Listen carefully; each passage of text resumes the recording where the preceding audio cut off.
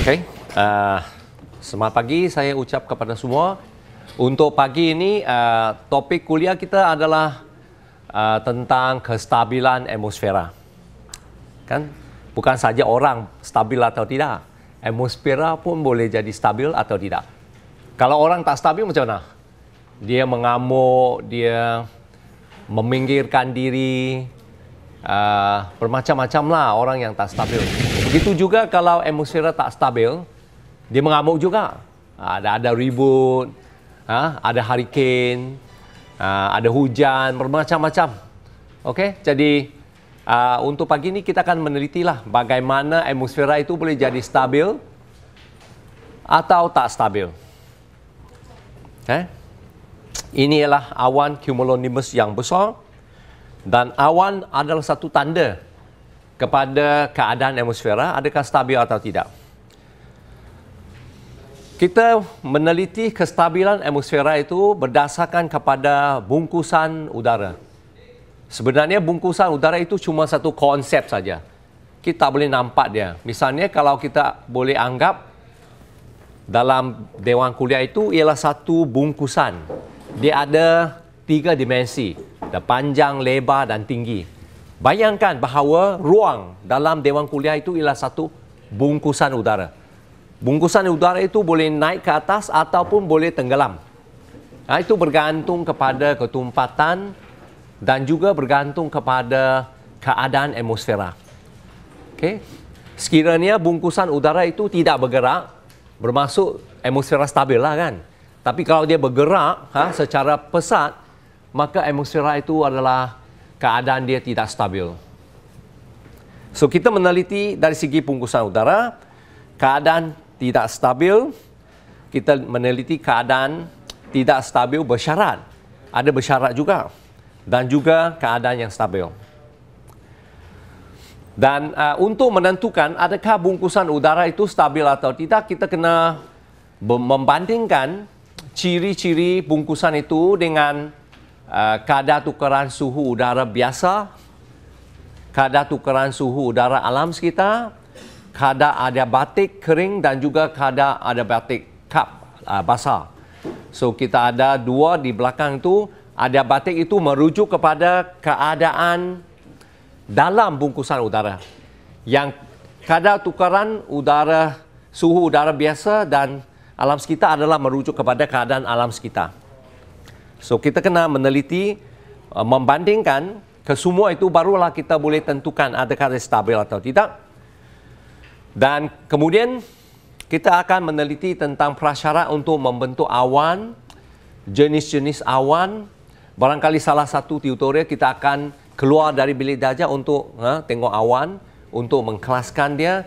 Adakah kita faham berbagai jenis awan, uh, apakah ciri-ciri awan, tanda-tanda awan itu akan membawa hujan atau tidak. Uh, kemudian teori membentuk kerpasan.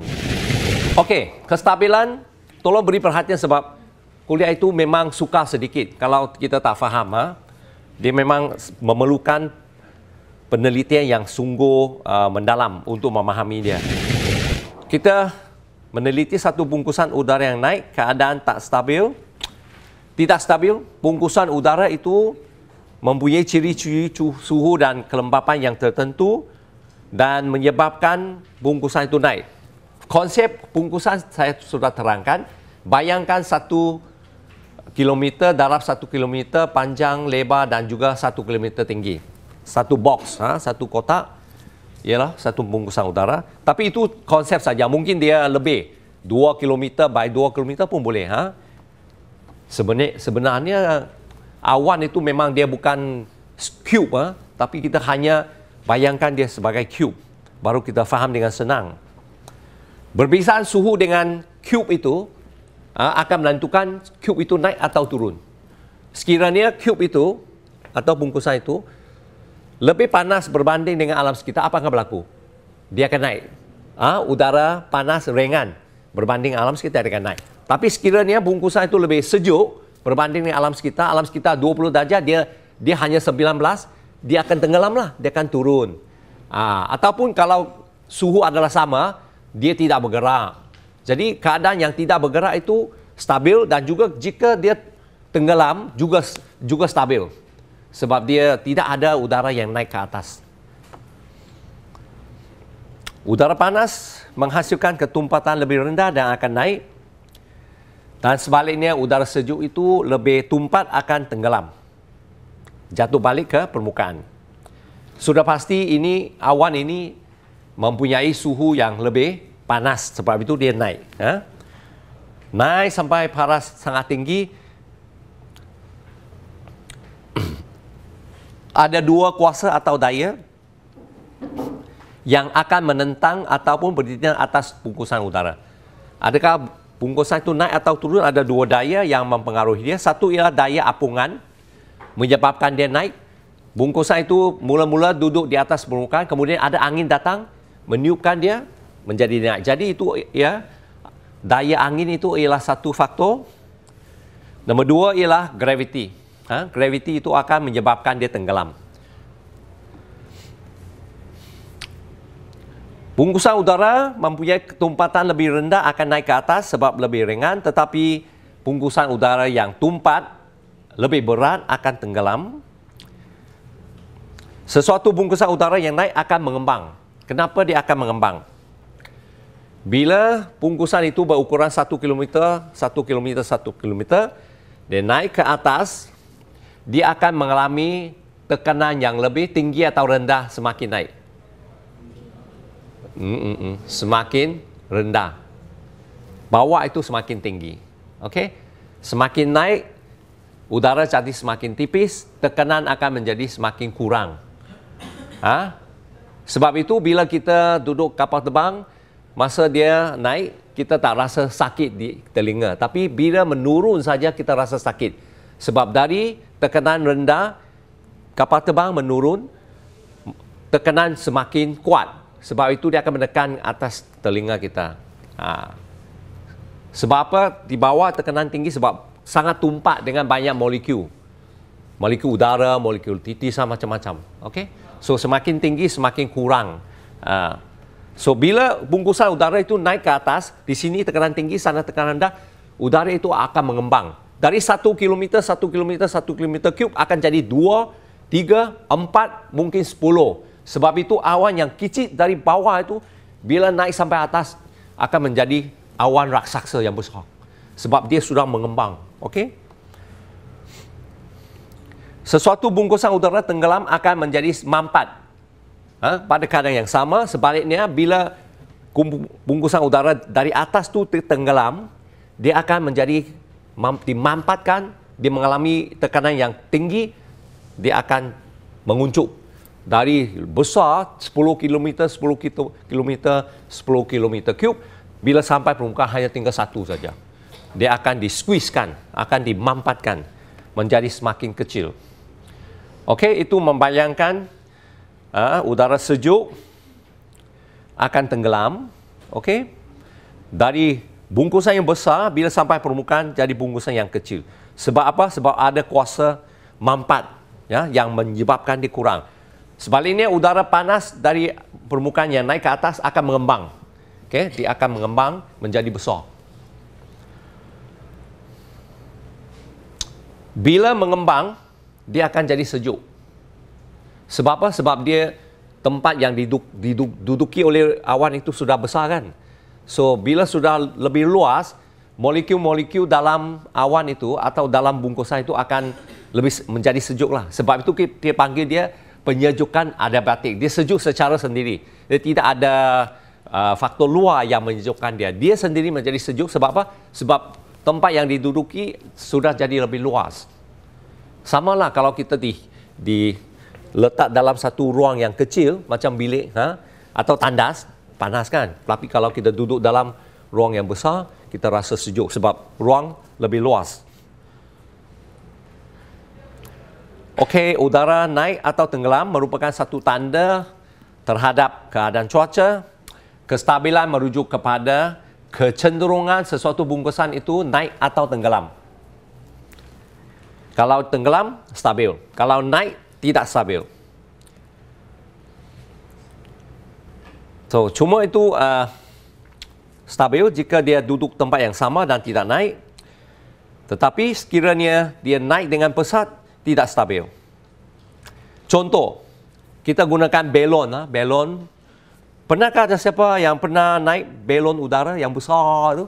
Ha? Kadang-kala ada apa-apa peristiwa, ada orang naik belon yang besar. Ha? Menggunakan uh, udara panas dan kadang-kadang guna gas lain pula. Jika belon diisi dengan udara biasa, adakah dia boleh naik? Tak boleh kan? Macam belon kita kita beli belon, kita blow ah, dia tak boleh naik kan? Tapi kalau kita isikan belon itu dengan helium yang lebih ringan, dia, dia boleh naik. Ha? Belon yang besar yang kita tutup sama juga, dia guna gas yang lebih ringan. Ataupun dalam situ dia ada api yang digunakan membakar api supaya api itu dia naik. Uh, baru baru uh, tahun baru Cina kita ada buat itu uh, lantern tanglong uh, kita boleh beli satu uh, tiga ringgit saja. Lepas tu benda itu di bawah kita boleh letak tu lilin yang boleh bakar. Kita bakar itu lilin.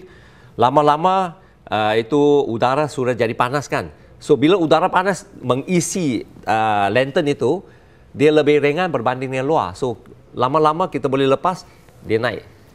Tapi dia naik sampai lilin itu bakar habis dia akan jatuh lah. Tapi kita boleh naik kan. Ha dalam keadaan yang sama juga. Tapi ha, udara panas dia akan naik. So macam gini, ha, kita lepas dia dia akan naik. Hmm. Tapi lama-lama bila dia naik ke atas, lilin dah habis, uh, suhu dia sudah jadi sejuk, ha, dia akan jatuh balik, tenggelam. So apabila belon itu tinggal sampai paras yang tinggi, disejukkan ha? ataupun dia kekal di atas untuk satu ketika dan lama-lama apabila jadi sangat sejuk ha? dia akan tenggelam dan jatuh balik ke permukaan bumi ha? dalam keadaan begini apa yang naik sudah pasti akan turun kecuali dia sampai bulan ha? kapal angkasa kan Okey, proses penyejukan adabatik merujuk kepada proses penyejukan sesuatu bungkusan udara. Dan ia juga menentukan adakah bungkusan itu naik atau turun. Perlu ada dua suhu. Ha? Satu suhu ialah suhu bungkusan udara itu. Nombor dua ialah suhu udara sekitar. Dan perbezaan suhu itu ha, boleh kita tentukan dengan radioson. Ya. Mungkin kalau sempat kita akan melawat stesen kaji cuaca di lapangan terbang bayan lepas. Setiap pagi uh, ahli meteorologi akan melepaskan radioson atau belon sebab uh, dia nak tentukan keadaan uh, atmosfera atau cuaca dalam atmosfera menurut uh, ketinggian. Radioson macam ini di di, di uh, gantung dalam belon okay? dan dalam situ ada banyak sensor yang boleh ukur suhu, angin, kelembapan, tekanan macam-macam. Ha? Dan dia transmit radio signal. Dia ada antena dia di di uh, lapangan terbang itu ahli meteorologi dalam office dia boleh menerima signal daripada radioson uh, tentang suhu okay, ketinggian. Uh, bila belon itu sampai 1000 kaki apakah bacaan-bacaan? Dia semua terima dalam laptop dia ataupun komputer dia. Dan boleh dianalisa dan maklumat itu kemudian diberikan kepada uh, pilot supaya pilot tahu keadaan cuaca ha, sebenar Ha, itu juga beberapa contoh dan ha, ini memang lepas belon. Ha, beberapa contoh. Ha, ada belon yang berwarna-warni, ada belon cuma putih saja. Ya. Tapi lama-lama belon akan jatuh. Ha. Kadang-kala kalau kita ada belon jatuh, kemudian kita tak tahu apa benda itu, kita tahu itu ialah belon cuaca. Ha. Besarnya, okay? bukan belon yang kecil.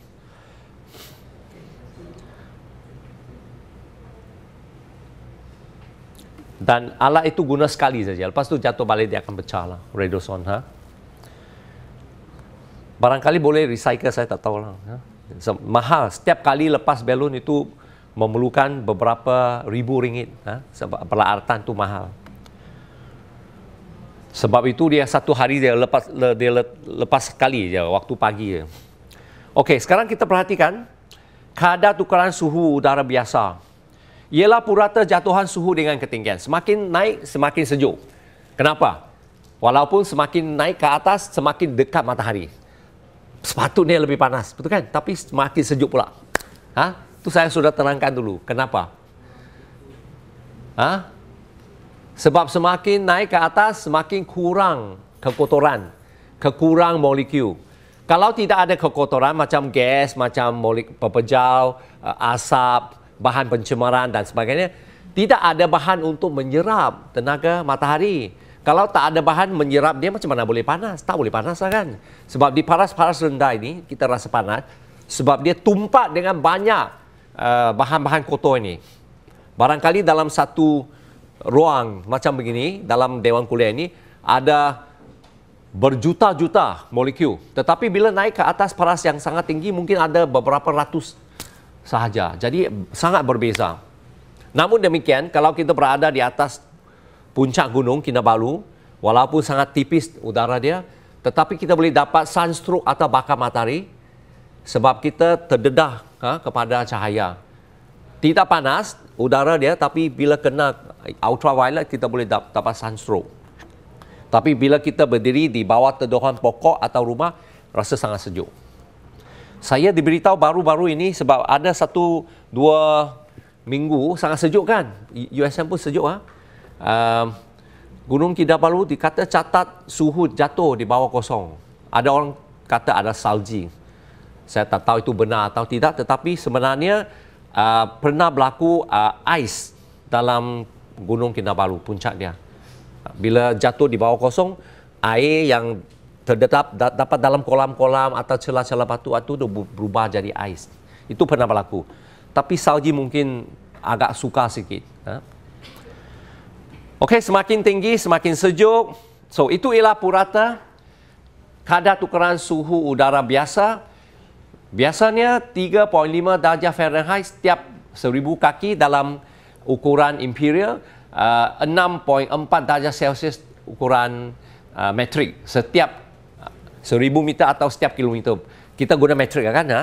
Uh, katakan suhu di permukaan ialah 20, maka bila kita naik sampai 1 kilometer di atas, 1000 meter 1 kilometer, pada masa itu apakah suhu udara itu? Ha? Di sini 20 naik sampai 1 kilometer di atas kata bumbung ini 1 km dia sudah jatuh 6.4 jadi 20 tolak 6.4 lah ha? sebenarnya di para 1 km suhu adalah uh, berapa 14.6 itu kan 14.6 Celsius satu lagi kilometer tolak lagi lah 6.4 macam itu ha? ha? okay. so semakin ha? naik semakin turun. Itu ialah kadar udara uh, sekitar. Tidak melibatkan bungkusan, uh, dia cuma alam sekitar. Dan kadar itu sangat penting, uh, dia akan menentukan juga ada kebungkusan udara naik atau turun. Okey, kadar tukaran udara alam sekitar berbeza sedikit daripada kadar tukaran uh, biasa. Sebab apa? Sebab alam sekitar itu pada masa-masa tertentu dia agak berbeza. Ha, kadang-kala dia ada pengaruh yang sejuk, dapat sempadan sejuk, kadang-kadang hujan, kadang-kadang dia uh, bersinar matahari yang terik. Jadi masa-masa tertentu berbeza. Bila berbeza itu kadar tukaran alam sekitar pun berbeza. Dia tidak tetap. Dia sangat berbeza. Ha, dari masa ke masa, dari tempat ke tempat.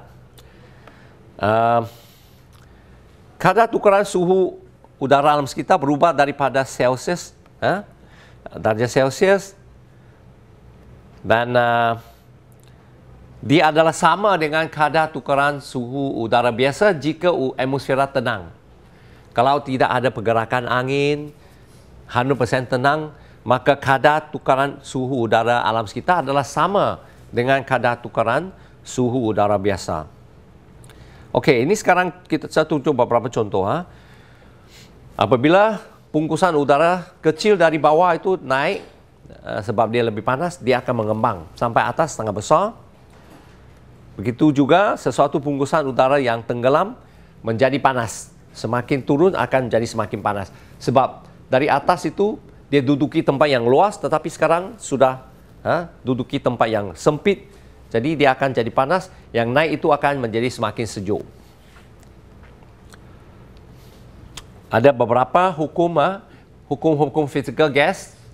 Uh, apabila tekanan berkurangan teratas bungkusan, bungkusan akan mengembang. Dan ketumpatan akan jatuh dan haba rasa akan digunakan dalam proses pengembangan. Sebab itu dia akan jadi sejuk. Apabila bungkusan tenggelam tekanan udara ke atas akan meningkat menyebabkan bungkusan menjadi mampat atau kecil dikuncukan dan penguncupan ini meningkatkan suhu dan bungkusan udara uh, akan dipanaskan dan haba rasa dihasilkan dalam proses itu so keadaan yang terbalik ya. Perubahan suhu dalam udara naik dan turun berlaku sebab tanpa pertukaran haba yang signifikan antara bungkusan boleh berlaku juga dalam sebab apa dan kita panggil itu sebagai adiabatik. Bungkusan udara itu naik tapi tidak ada penyejukan atau kepanasan dari luar. Dia sendiri menjadi sejuk, dia sendiri menjadi panas dan ini disebabkan dia mengembang atau menguncup. Itu kita panggil sebagai penyejukan adiabatik. Kalau adiabatik itu saya pun tak tahu apa perkataan dia, mungkin Spanyol ke mungkin apa, tetapi uh, makna dia ialah menyejuk secara sendiri. Sejuk sendiri, ha? tanpa faktor luar. Ha? Faktor alam sekitar tidak mempengaruhi, dia sendiri menjadi sejuk. Dia sendiri menjadi panas. Bagaimana boleh berlaku? Senang saja. Bila dia naik ke atas, dia mengembang. Bila mengembang, dia duduk tempat lebih luas, sejuklah. Semakin naik, semakin sejuk. Tapi bila semakin tenggelam, semakin panas. Tempat dia menduduki tempat semakin kecil, semakin mampat, semakin banyak uh, uh, molekul apabila menjadi kecil. Kita panggil ini adiabatik. Diabatik juga merubuk, uh, pula merujuk kepada pemanasan penyejukan yang berlaku sebab adanya haba tambah dari luar atau haba dari dalam itu dipindah keluar. Contohnya arus sejuk, arus lautan yang sejuk dan arus lautan yang panas.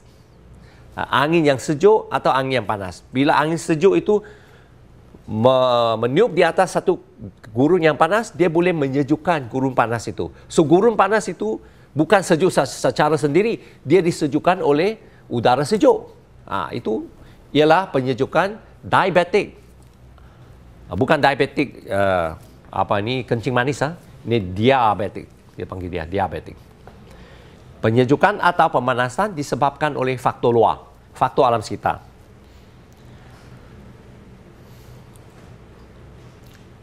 A diabetik pula merujuk kepada berlakunya uh, penyejukan tanpa tambahan haba atau tolakan haba dengan alam sekitar secara sendiri. Ada dua kadar adiabatik. Adiabatik merujuk kepada bungkusan udara sendiri menjejuk dan panas. Satu ialah sekiranya udara itu tidak tepu. Tidak tepu maksud dia bukan 100% tepu. Ha, lembapan ada, semua bungkusan ada lembapan tetapi tak sampai 100%. Jika sudah mencapai tepu, ha, 100% tepu, ha, maka kita panggil uh, kadar adiabatik basah. So ada kering dan basah. Ingatkan, ha, kering itu satu kelembapan 1% pun menurut kadar adiabatik kering, 99% pun mengikut kadar adiabatik kering, tetapi jika sudah capai 100% tepu, perlu mengikut kadar adiabatik basah. So kita panggil ini satu cup, satu cup. Dan banyak perbezaan tu. Ha? Kalau dia kering, udara itu akan menyejuk mengikut 10 darjah Celsius setiap kilometer. Tapi kalau dia sudah tepu, hanya 6 darjah saja untuk 1000 meter atau 1 kilometer. Kenapa begini? Ha? Sebab bila sudah tepu, banyak tenaga telah digunakan untuk uh, haba pendam sebab dalam situ absolut banyak haba pendam. Okey, mula-mula kita perhatikan keadaan adiabatik kering. Saya kena cepat sikit. Okey. um, menjadi sejuk jika udara itu kering. Ha? Itu biasa bila udara itu naik, dia menjadi sejuk uh, secara sendiri tetapi udara itu kering bermaksud belum tepu lagi. Saya akan bagi beberapa contoh. Uh, kalau tepu dia akan mengikut kadar adiabatik basah. 90% pun tidak uh, tidak tepu lagi. Dan purata kak itu 5.5 darjah Fahrenheit setiap 1000 kaki atau 10 darjah Celsius setiap seribu meter. Kita beri perhatian kepada yang meter tu. Okey, itu contoh saya bagi beberapa contoh kiraan dia. Okey, uh, mula-mula perhatikan yang Fahrenheit dulu. Nanti saya akan contoh ada contoh dalam metrik. Dalam raja ini sesuatu bungkusan udara di permukaan 81 darjah Fahrenheit. Masa itu dipanaskan oleh matahari udara di permukaan 81 dah darjah Fahrenheit. Kemudian di ada angin datang angin itu tolak dia sedikit saja dia naik. Okey? Dia macam balon ha? Angin datang sedikit saja dia boleh naik. Dan bila naik mengikut uh, jatuhan suhu 5.5 darjah Fahrenheit setiap uh, 1000 kaki. Apakah suhunya pada paras 8000 kaki? Dia sudah naik 1000 2000 sampai 8000 kita boleh kira dia okey setiap seribu kaki jatuh 5.5 darjah Fahrenheit. Jadi 8,000 kaki 5.5 darab 8 kali dah. Jangan darab 8,000. Okey? Sebab setiap ribu ha, 5.5. Okey? So 44 darjah Fahrenheit. Kita sudah tahu bahawa bungkusan itu akan jatuh 44 darjah Fahrenheit ha, apabila bergerak dari permukaan sampai 8,000. Jadi kita kena gunakan uh, suhu asal tolak 44 baru dapat uh, suhu di atas tu.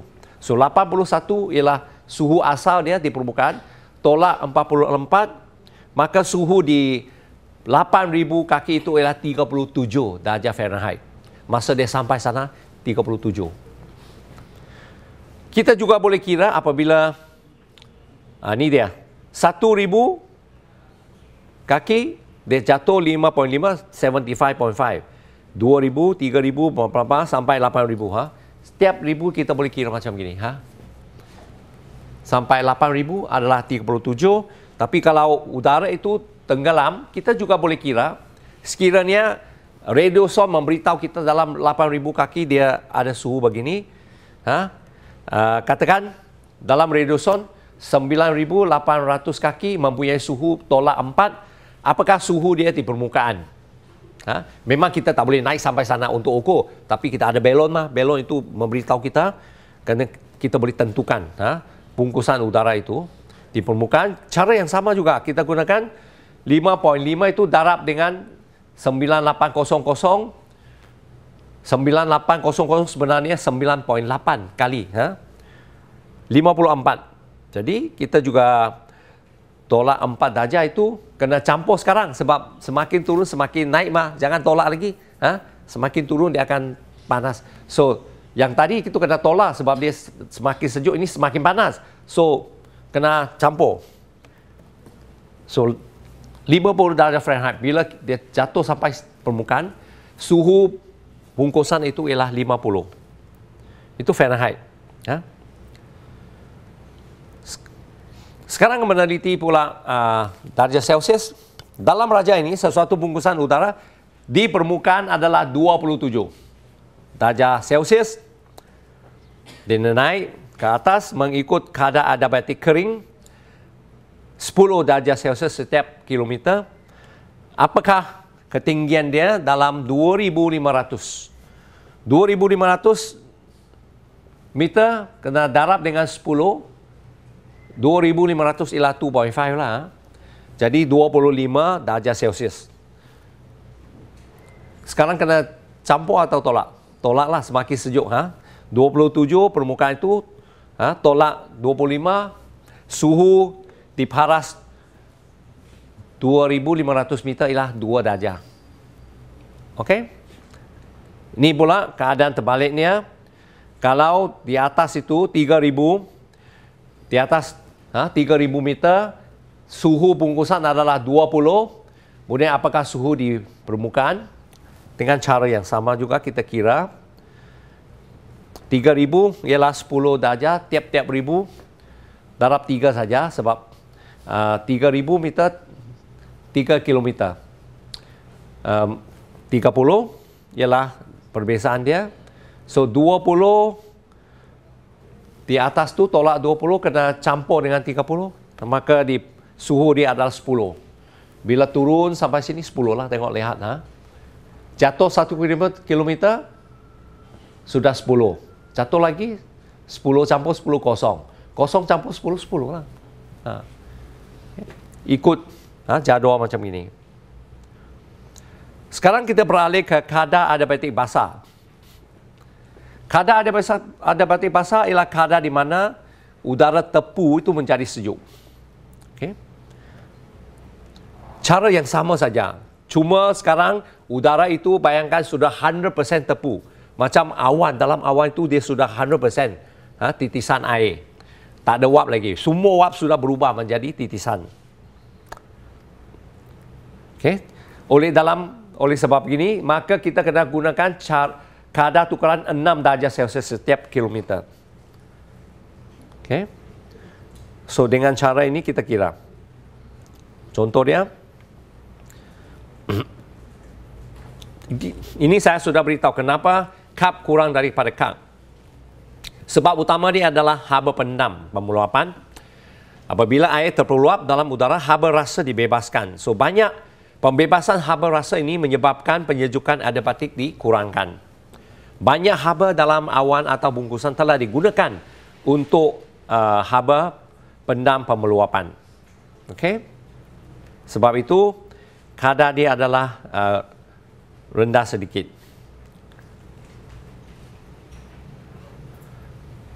Meng, mengikut kadar adiabatik uh, basah ni kosong kaki adalah 80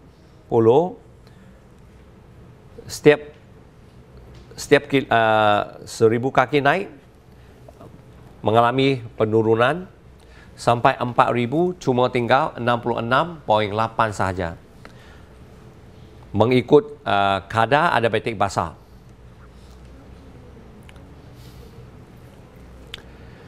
Kestabilan atmosfera itu pada bila-bila masa ditentukan oleh perhubungan antara tiga unsur. Satu, kadar adiabatik kering, kadar adiabatik basah, kedua-dua merujuk kepada bungkusan dan kadar tukaran suhu udara alam sekitar. Yang semua dibayangkan di sini, ditunjukkan di sini.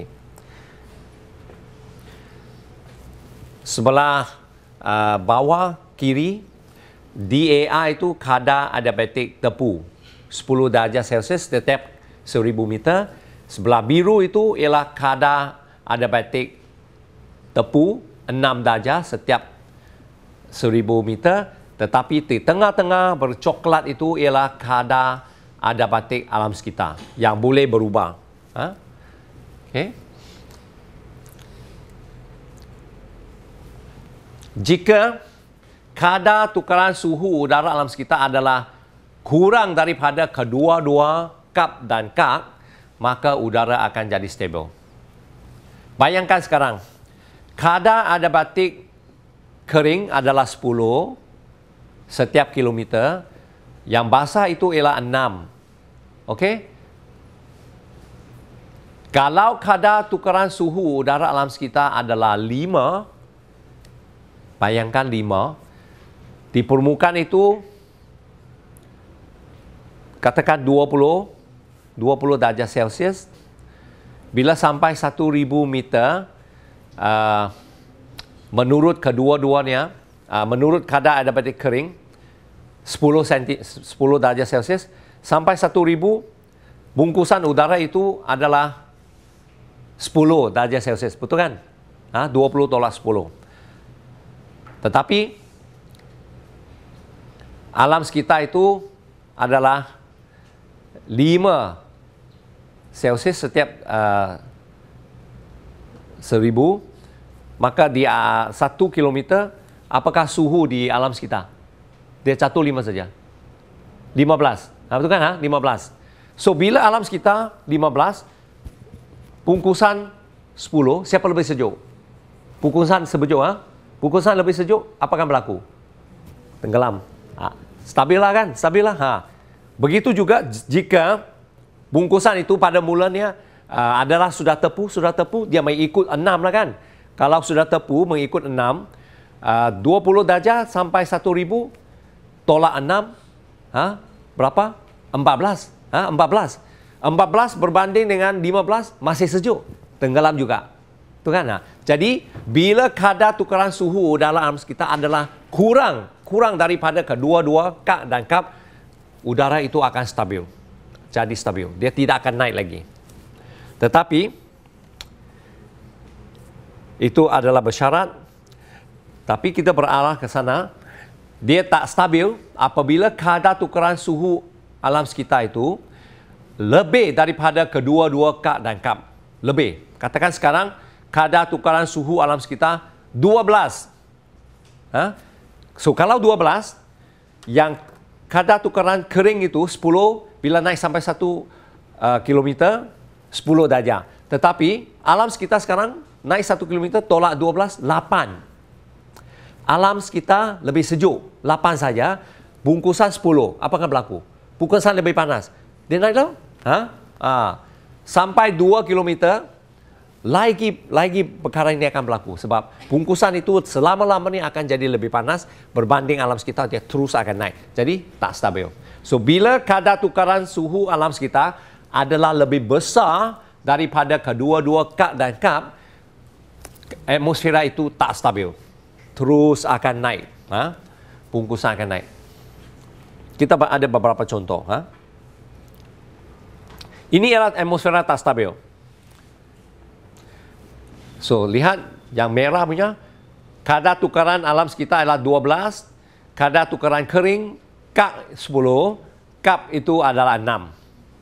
Okay? Apa akan berlaku? Mula-mula, suhu adalah 25, bila angin datang, bungkusan itu naik. Sampai satu kilometer, jatuh 10 kan? 15. Tapi alam sekitar 13 saja. Naik lagi. 5. Sana satu. Lagi sejuk. So, dia akan semakin naik. Tidak stabil. Okay? Itu cuma huraian dia. Kadar tukaran kurang ha, daripada kap dan kap bila kadar tukaran itu hanya dalam keadaan lima saja, ha, lima, okay. kadar tukaran suhu alam sekitar, maka udara itu mula-mula naik 25 sampai sana kebungkusan 15 tetapi alam sekitar yang jatuh pada paras 5 saja 20 so ini ini lebih sejuk uh, ini lebih sejuk ini lebih panas so udara akan turun kembali kepada permukaan. Tak naik lagi. Ha, tak naik lagi. Ha, ini huraian dia. Bersyarat adalah keadaan di tengah-tengah di mana kadar tukaran alam sekitar itu tidak tertentu. Kadar tukaran alam sekitar sekarang, lihat dalam dalam contoh ini adalah 7. 7 darjah Celsius. Okay? Dia adalah lebih besar berbanding dengan cup. Tetapi dia adalah kurang daripada cup. So dalam keadaan ini apa akan berlaku? Itu bergantung kepada adakah bungkusan udara tepu atau tidak. Ha, adakah dia naik atau turun sekarang bergantung kepada tepu atau tidak. Kalau ha, kandungan udara itu kering, ha, kalau dia kering, dia akan naik ikut kadar tukaran kering kan 10 ha. So 25 sampai di 10 tapi sekarang alam sekitar itu uh, adalah 7 so naik sini 25 tolak 7 18 siapa yang panas 18 15 ni sejuk kan tenggelam ha so kalau udara kering dia akan stabil tetapi jika udara itu sudah tepu penuh dengan lembapan, Dari 25 dia naik sampai 1 paras uh, 1 kilometer, dia menurun ikut 6 darjah. So 25 tolak 6 19. Ternyata 19 berbanding dengan alam sekitar 18. So dia lebih panas. Dia naik. Jadi uh, atmosfera tak stabil secara bersyarat itu bergantung kepada yang bungkusan itu tepu atau kering. Kalau kering, udara adalah stabil. Tapi kalau tepu, udara tak stabil. Nah, itu beza sedikit, ha? lebih bergantung kepada ciri bungkusan itu. Ini huraian dia. Dan sekarang kita cepat beralih ke uh, jenis awan sebab ada juga perkaitan uh, dengan uh, kestabilan atmosfera. Uh, kandungan ini semua kita akan meneliti. Awan adalah penting untuk semua ini, kestabilan atmosfera, kandungan lempam, lempapan dalam udara, uh, cuaca, uh, kesan rumah hijau sebab dia serap dan juga membalikkan haba, uh, kitaran hidrologi sebab menghasilkan air tawar, dan kita tahu kabut dan kabut juga merupakan awan yang terdapat di permukaan dan memainkan peranan yang penting.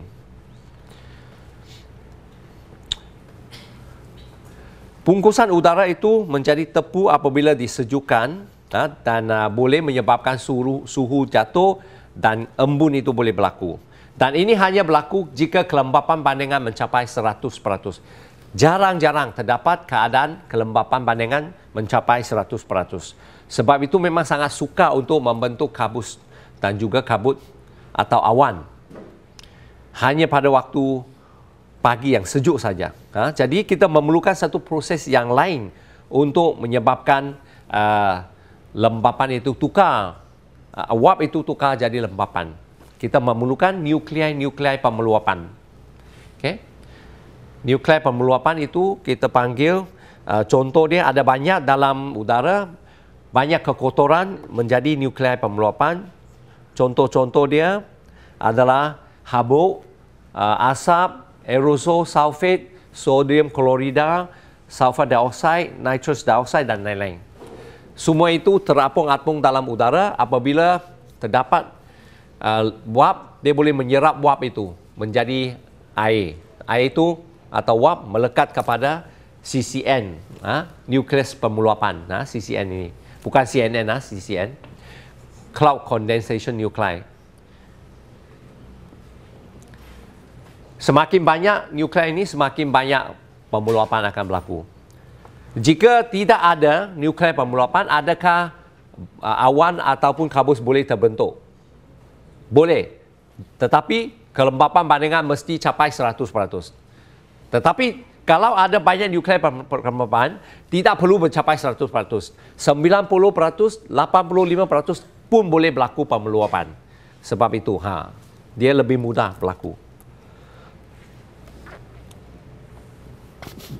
Proses pemeluapan macam mana berlaku? Bayangkan kita minum ais, ha? Uh, satu gelas ais. Um, bila kita ada ais, mula-mula uh, titik-titisan akan terbentuk di luar kan? Ha? Adakah air di luar itu datang dari dalam gelas itu? Bukan, dia datang dari atmosfera. Sebab gelas itu sangat sejuk, lembatan-lembatan wap-wap yang terapung-apung di sekelilingi gelas itu akan melekat ha, kepada uh, permukaan gelas yang sejuk dan wap akan tukar kepada air dan kita nampak titisan-titisan ha, di permukaan gelas. Itu ialah proses pemeluapan. Ha? Wap tukar kepada titisan. Tetapi titisan itu belum jatuh lagi. Tapi lama-lama ni apabila banyak titisan bercantum, betul kan? Sebab dia besar kan, membesar, membesar, dia akan sentuh satu sama lain. Bila sentuh, dia akan gabung. Ha? Gabung, gabung, gabung, sudah besar lah. Bila sudah besar, dia akan turun. Bagaimana turun? Siapa tarik dia turun? Gravity tarik dia turun dan bila sudah turun, kita panggil itu sebagai kerpasan, hujan. Ha. Hujan itu lain daripada pemeluapan. Pemeluapan cuma wap tukar pada titisan wap tukar pada cecair tapi belum jatuh lagi ha, itu membentuk awan macam itu Awan itu ialah wap tukar kepada titisan tapi titisan terlampau, terlampau halus untuk jatuh. Dia sangat kecil. Tapi dalam awan itu bila dia ada udara bergerak, dia gabung-gabung lepas tu dia berlaga, dia akan cantum-cantum lama-lama akan jadi besar. Bila membesar, uh, sudah sangat berat, graviti tarik uh, titisan itu turun sebagai hujan, baru kita panggil sebagai kerpasan. Ha? Okey. So itu perbezaan dia. Tapi sebelum ada hujan mesti ada pemeluapan dulu. Ha? Dan uh, kita akan meneliti semua itu uh, proses lagaan dan proses hablo ais bergeron. Ada dua proses di mana uh, kerpasan itu boleh jadi. Mula-mula proses lagaan, proses lagaan semua akan faham senang. Dalam awan banyak titisan ada. Ada yang besar, ada yang kecil.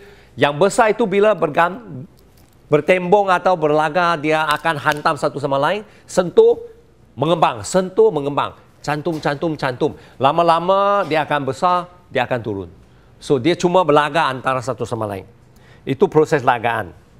Okey dan uh, proses lagaan itu boleh tangkap depan tangkap ekor. Tangkap depan bila dia di berat dia jatuhkan. Di kena depan itu ada ada titisan yang lain dia serap. Kemudian bila dia jatuh, dia ada arus dari bawah belakang. So belakang pun dia serap. Nah, so ada ada dua proses ini. Dalam proses. Ni, proses pembentukan hablo ais bergeron ialah bergantung kepada uh, tarikan uh, setengah nukleus pemeluapan. Dan ini banyak berlaku dalam awan tinggi dan awan rendah. So, uh, teori dia ialah nukleus pemeluapan nukleus pemeluapan yang uh, mempunyai ciri cita air. Kalau terdapat dalam situ dia boleh menyerap. Dalam contoh apakah nukleus pemeluapan yang terdapat dalam contoh ini? Ais. Ha ais kristal ais dalam awan yang tinggi ada ais kristal ais kristal itu akan menyerap lempapan ke dalamnya sebab ais kristal itu mempunyai tekanan yang lebih rendah lebih rendah berbanding dengan wap-wap atau titisan. So titisan itu yang tinggi tinggi sedikit saja tekanan dia akan melekat kepada ais. So ais itu akan menjadi besar sebab perbezaan tekanan ini. Ini ais ialah satu contoh, tak banyak contoh yang lain. Ha? Sodium klorida juga bertindak macam ini. Okey, itu ialah uh, huraian dia. Dan sekarang kita lihat contoh awan-awan. Awan kita boleh kelaskan mengikut dua kriteria. Satu ialah altitude ketinggian, satu ialah bentuk dia. Okey. Uh, sini ialah menggal semua jenis awan. Mula-mula CL itu ha, adalah low clouds. Cloud itu C ya. Low cloud, awan rendah. CM, middle cloud, awan tengah. CH, high cloud. Satu lagi ialah VDC. VDC itu ialah vertically developed cloud bermaksud cloud itu tidak bergantung pada ketinggian. Dia boleh berlaku dari permukaan sampai atas tinggi. Itu ialah awan cumulonimbus. Hanya satu jenis saja. Dia dia punya base ha, adalah di bawah tapi kepala dia boleh sampai sangat tinggi. Ha, tapi berbanding dengan yang lain. So dalam tiap-tiap kumpulan kelas ha, CL, CM, CH dia ada jenis-jenis uh, yang berbeza. ST itu stratus. Ha, 100 itu berlap, berlapisan. Lapisan-lapisan. Ha? Uh, stratocumulus ialah SC uh, cumulus macam apa ni cauliflower kobis. Ha. So kobis bercantum dengan lapis itu stratocumulus. Nimbus stratus ada air, ada hujan. Bermacam-macam ha? dan uh, kita mungkin dalam tutorial boleh meneliti satu demi satu ha? uh, cuma di sini saya ada contoh komputer sudah sangkut. Ah, lihat. Ya, ini 100, nimbus 100 ada hujan, auto cumulus bermasuk bentuk cumulus tetapi uh, tengah-tengah. Ha? Zero 100, cirrus itu ialah awan yang halus macam kapas. Ha? Zero cumulus dalam bentuk uh, kobis tetapi sangat halus untuk uh, uh, tutorial nanti mungkin kita boleh ha, meneliti tiap satu. Ini ialah cumulonimbus yang besar yang meng, mem, membawa cuaca yang buruk ha, seperti lightning, kilat, guru, hujan, ha, angin kencang. Ha? Cuma di sini beberapa contoh saja. Ha, itu lagi ada beberapa contoh lagi. Ha, ini ialah uh, dalam awan itu ada tafsiran cuaca. So saya saya berhenti saja ha, untuk hari ini uh, di sini dan kita akan sambung ha, uh, minggu depan